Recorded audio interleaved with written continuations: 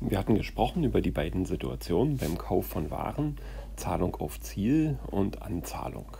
Bei der Zahlung auf Ziel liefert der Lieferant die Ware ähm, bereits, wenn noch keine Bezahlung erfolgt ist. Das heißt, das Erfüllungsgeschäft der Lieferung erfolgt vor dem Erfüllungsgeschäft der Zahlung.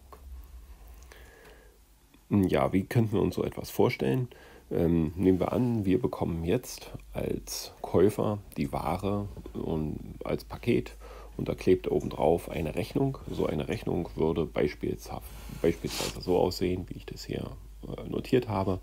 Zehn Tische je 100 Euro wären dann 1000 Euro und diesen Betrag nennen wir den Nettobetrag.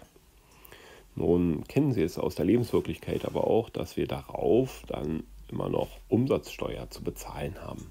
Diese Umsatzsteuer würde bei Tischen 19% betragen, wären also 190 Euro, die wir noch an Umsatzsteuer bezahlen müssen.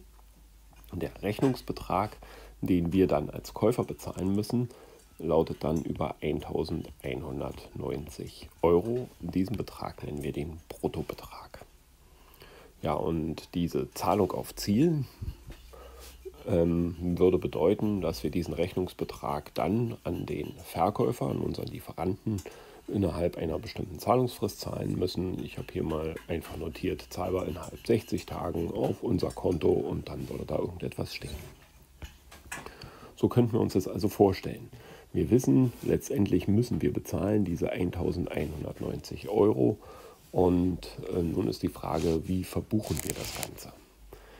Ja, ähm, wenn wir die Ware jetzt vorzuliegen haben, dann haben wir eine Erhöhung des Vermögensgegenstandes Handelswaren und dieser Vermögensgegenstand ist dargestellt mit einem aktivischen Bestandskonto. Den Zugang dort würden wir im Soll buchen.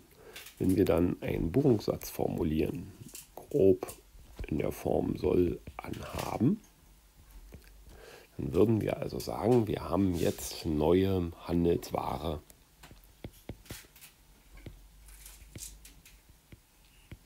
im Bestand und diesen Zugang des Aktivums Handelsware buchen wir im Soll. Ja, was passiert aber noch? Wir schulden dem Verkäufer 1190 Euro. Der Verkäufer hat sein Erfüllungsgeschäft, die Lieferung der Ware bereits erfüllt. Wir haben als Käufer unser Erfüllungsgeschäft, die Bezahlung der Ware noch nicht erfüllt. Und ähm, wir haben deshalb gegenüber dem Verkäufer eine Verbindlichkeit. Eine, also Schulden und Verbindlichkeiten sind synonym. Diese Verbindlichkeit oder diese Schuld steht auf der Passivseite. Den Zugang eines Passivums buchen wir ja im Haben. Wir würden dann buchen an Verbindlichkeiten aus Lieferungen und Leistungen nennen wir das.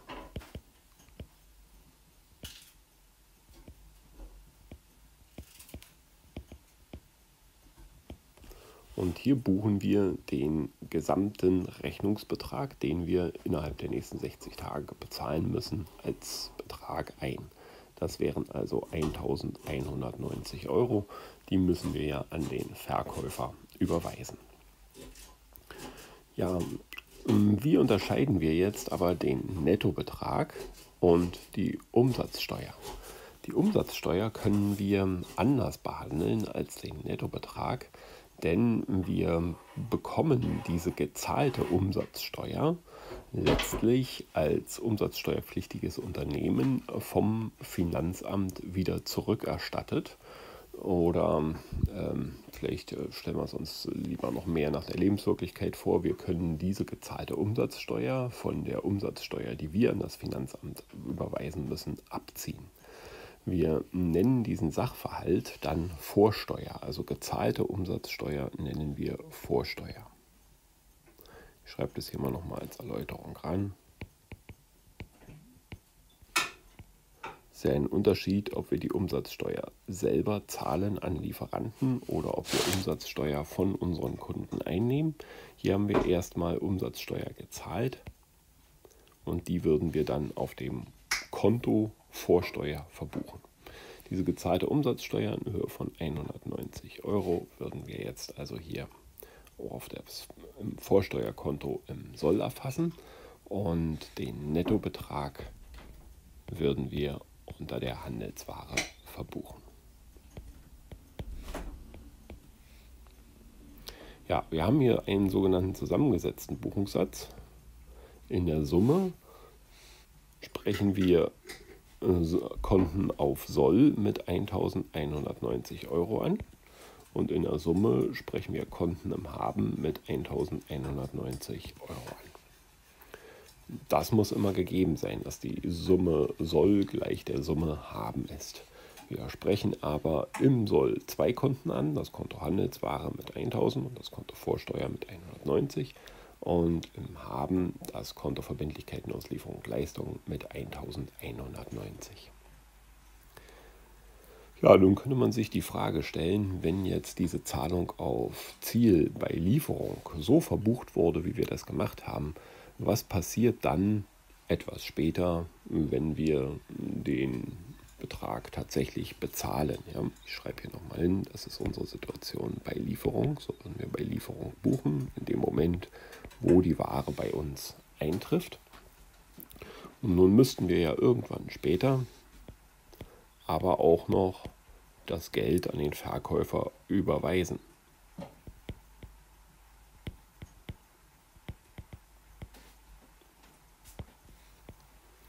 Was würden wir dann buchen?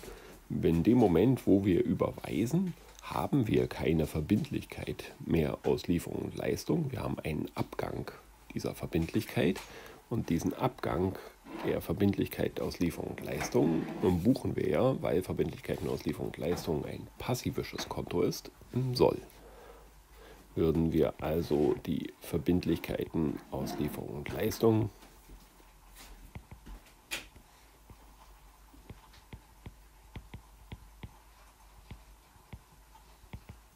jetzt soll ansprechen mit 1190 Euro und wir würden es dann buchen an unser Bankkonto.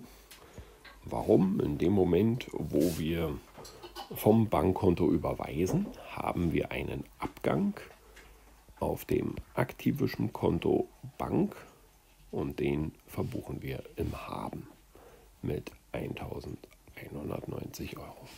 Damit ist die Verbindlichkeit bezahlt und wir hätten sie nicht mehr im Bestand. Schauen wir uns das Ganze vielleicht auch nochmal auf den T-Konten an, was dabei passiert. Ähm, welche Konten sprechen wir hier alles an?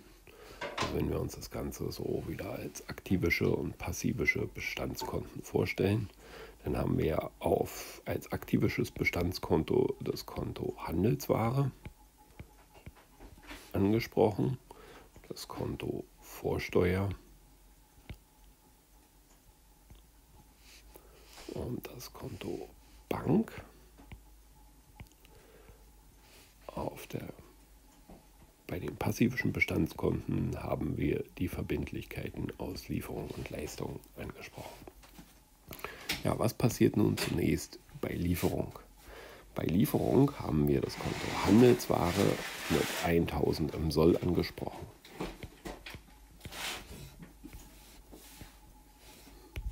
Hier Soll und Haben drüber.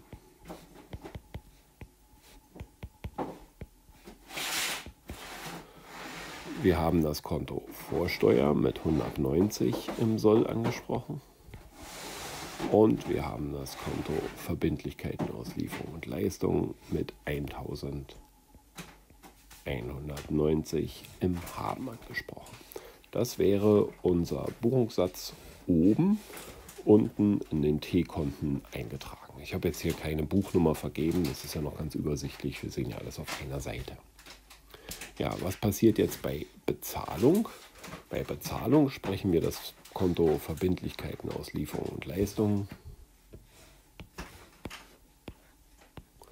im Soll an mit 1190 und das Konto Bank im Haben mit 1190. Ja, wenn wir jetzt uns die Situation vorstellen nach der Bezahlung, zeitlich haben wir keine Verbindlichkeit mehr. Wir sehen auf dem Konto Verbindlichkeiten aus Lieferung und Leistung gibt es auch keinen Saldo. Dieses Konto ist vollkommen in sich abgeschlossen. Wir haben aber sehr wohl weniger Geld auf dem Bankkonto. Und das sehen wir, dass wir das Bankkonto nur diesen Abgang 1190 erfasst haben. Und wir haben sehr wohl mehr Ware im Lager zu liegen. Deshalb sehen wir auf dem Konto Handelsware haben wir den Zugang von 1000. Was wir noch haben, ist diese Umsatzsteuerforderung gegenüber dem Finanzamt. Wie wir später weiter damit umgehen, betrachten wir noch. Im Moment können wir uns das vorstellen wie eine Forderung gegenüber dem Finanzamt, dass wir Geld bekommen. Das stellt einen Vermögensgegenstand dar. Deshalb haben wir hier dieses Vorsteuerkonto um 190 erhöht.